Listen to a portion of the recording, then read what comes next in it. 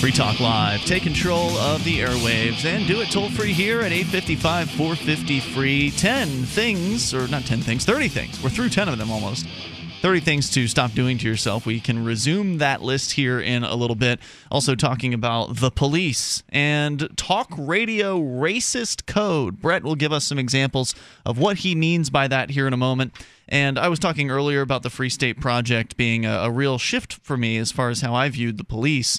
And I view them now as, uh, as human beings instead of this sort of amorphous mass of uh, evil people. I think that they're doing they're human beings who are doing some sometimes the wrong thing to other human beings, and and I don't have a problem telling them that. Uh, you talked about uh, Brett shaming earlier Mm-hmm. that you know nobody's going to change their mind if they're if they're feeling shamed. Um, but at the same time, I'm not just going to let Jason Short from Keene Police walk out of uh, Fat Stuff uh, and tell him thanks. You know, I'm going to Exactly, tell, I'm going to sure. tell Jason Short, who is a, a local Keene police officer. Fat Stuff is the local head shop that was recently raided by the DEA. I told Jason that with the help of Keene Police. with the help of Keene Police, they guarded the door basically, and uh, and I told him, look, this is a sad day for Keene Police, and uh, I don't appreciate what you're doing here today. And I had a I had a conversation with him. If you watch the video that I made, it's a 17 minute long video. I took four hours of this DEA raid and you know edited it down to 17 Wow, minutes. yeah. And um, at- at the very end, I put in the conversation I had with Jason Short because the tone that I took with the DEA was much louder and much more "get out of our town" kind of tone. We Sure. don't want you around here. This is not cool. We don't Stop like your doing this. around here." Stop stealing from people. Stop ruining people's lives. So that was kind of the tact I took with the DEA. But th- they're not neighbors. They're people from Boston who, you know, strapped on with guns and came and robbed a store. Jason Short and the other Keene police officers are they're our neighbors. These are the people who you know it's not the same situation with them versus the DEA. So I treat Jason differently than I treat the DEA in the rest of the video. I let Jason know on a you know with a kinder tone in my voice that I don't appreciate what it is he's doing, and I don't think that's wrong of me to do because I feel like feedback is important for these guys. And if all anybody ever does is say, boy, you guys are great. Thanks for saving the community. Uh, and just constantly pats them on the back, puts their Facebook pictures as police badges or thin Yeah. blue lines or things Yeah. like that, then all they ever get is that positive reinforcement from people. Well, I think that it's okay to give people uh, some feedback, some critical feedback on how they're performing. It absolutely is. And when they get that, or even when they get a little bit of resistance, I think they have to take that memory to their next encounter.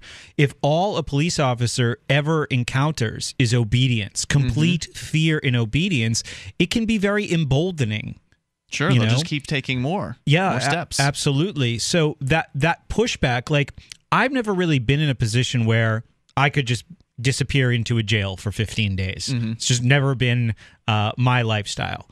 And you know even though i've looked at some of the things that people have done and we've had this conversation before uh, me you derek uh, i've had it with adam kokesh on my show uh, i don't get what you're doing right? But i'm glad there's people who have the courage and the willingness to do these things you know better better have some people do it than not do it. And i'm realizing there's much more of a division of labor in trying to forward the ideas of liberty. So i used to often quietly say that's stupid you know and i don't say that anymore i don't i don't say that anymore I still say it's stupid in my mind. However, it's uh, stupid for me i might say that would be stupid if i was doing what it the DEA thing or something just stupid there? generally, you know, like outside the system activism, um, Civil you know, I disobedience. disagree with, and whatever, whatever it is. is holding the police accountable considered outside the system yeah, activism? yeah. Why? I mean, like it's just. I, I is don't- anything not in, is something outside the system so long as it's not um, basically begging a politician? Is that what your def- Begging a definition politician of, or being a politician? Because as you know, holding a video camera and asking the police questions it seems fully within the system to me. It's not I've illegal. seen you doing it for a decade now, and it hasn't done a damn thing.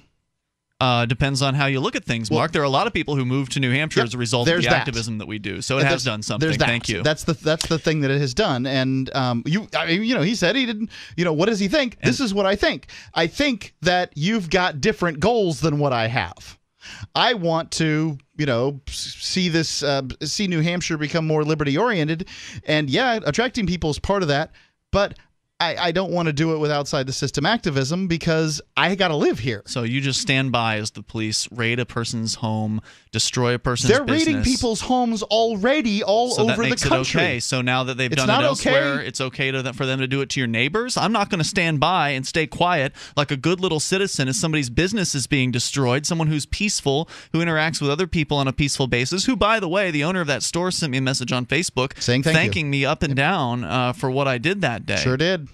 Absolutely true. And it wasn't just me, it was other activists who were out there, plus locals who were out there as well to express how they were concerned for this business owner. And thank goodness people in Keene are willing to stand up for themselves and willing to stand up for others and speak out against this. It's it's people like you, Mark, who stand by the side and you say nothing and you just look on and you think things, you think this is a terrible thing, but you won't speak out about it. Well, you're the ones who are the problem. But he's Nonsense. putting that's not. I don't agree with you there. He's putting his neck out more than ninety nine point nine percent of people just by being here tonight. It's not good enough, Brett. It's not good enough unless you unless you put you know you stop doing your nationally syndicated radio program, which is the largest platform of liberty, and go out and fight a traffic ticket with the people of Keene. You haven't done enough. Like that's what it's all about. I didn't say you Ian. haven't done enough. No, yeah, yeah, that's what you. It's people like you. It's people who don't do anything, who stand no, along people the side. like no. You said complain. I am. Uh, th- you used me as the poster child Yeah. for people who don't do enough, So- meaning that I did not Just- freaking do enough. Just remember, if you own a business and the police are raiding you, Mark won't do I own a anything about it. I own a business. Mark will just stand by and he'll watch quietly. I think you're being more divisive than than you need to be here. He's like an I- I- a-hole, that's I- why. You. By the way, you are the reddest man I've seen right now. Very red. Um, but I, I mean, I think you know you should see each other as being on the same side here, considering that most people. It's not that most people are doing nothing. Most people don't even know there's a problem. It, re- it reminds me of like the Occupy movement, and they were saying we are the 99%. When statistically, in any way that matters, they were the 1% of, first of all, people who recognize that there is a problem. That's mm-hmm. almost nobody.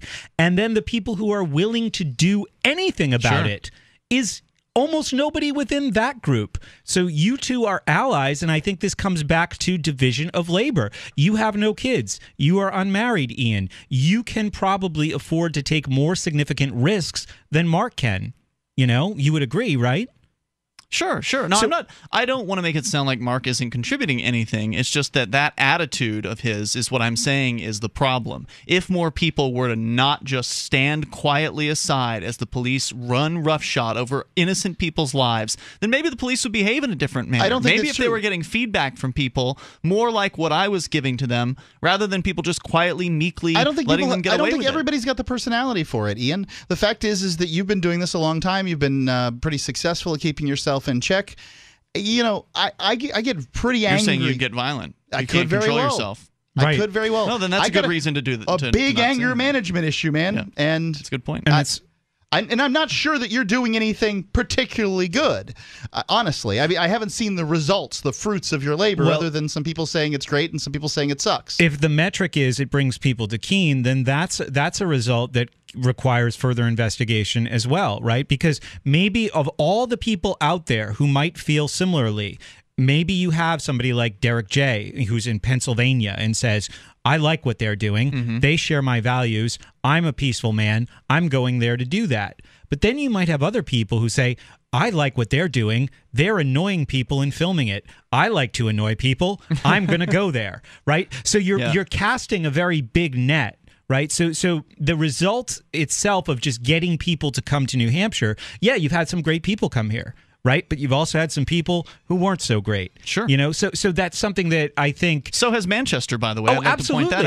out. And they have not had the level of publicity around the activism that goes on there. So it's just an. Uh, there have been some bad people that have gone to Manchester, and Yeah, some yeah. of that has become public. Yeah. I, we don't know how much of it hasn't become public. When the bad people come to Keene, they become more visible, and so it's more of a memorable thing when somebody like that. But I remember uh, a couple of years ago there was a Manchester activist who was outed at PorcFest for stealing from his roommates, and he left the movement. And you you look surprised. You hadn't heard about that. No. Uh, he left the movement uh, with shame and he took off after he was outed on stage by his roommates for being a thief. And then it was after that that other of former roommates of his started to come out and started to say they they had also had incidents with this person. Of course, his roommates at the time had said, "Well, gosh, it would have been nice had you told us about this prior to us taking him on uh, as a tenant." By the way, that particular individual ended up moving to Texas, where he's now going to prison for uh, raping a teenager, apparently Oh my. uh, drugging and raping. 855 450 free. And so, you know, lots of people are attracted to New Hampshire, some not so desirable. But I wouldn't say that one form of activism or another is the cause of that. There's more on the way here. You can take control. And we still have to get to the talk radio code. I haven't forgotten Yes, about that. yes. yes. We'll get back to that uh, or get to that here coming up in hour three, 855 450 free. This is Free Talk Live.